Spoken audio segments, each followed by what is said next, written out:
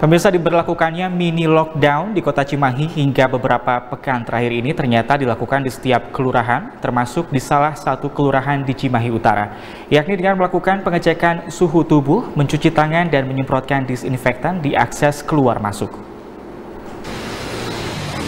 Guna memutus mata rantai COVID-19, salah satu kelurahan di Cimahi Utara memperketat protokol kesehatan di akses keluar masuk dengan melakukan pengecekan suhu tubuh, mencuci tangan, dan penyemprotan disinfektan. Hal tersebut dilakukan menyusul masih tingginya kasus COVID-19 di kota Cimahi hingga diterapkan mini lockdown oleh Wali Kota Cimahi Ajay M. Priyatna.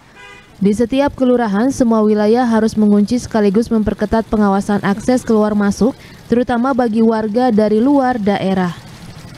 Sehubungan dengan tadi mini lockdown itu, kami pun menantikan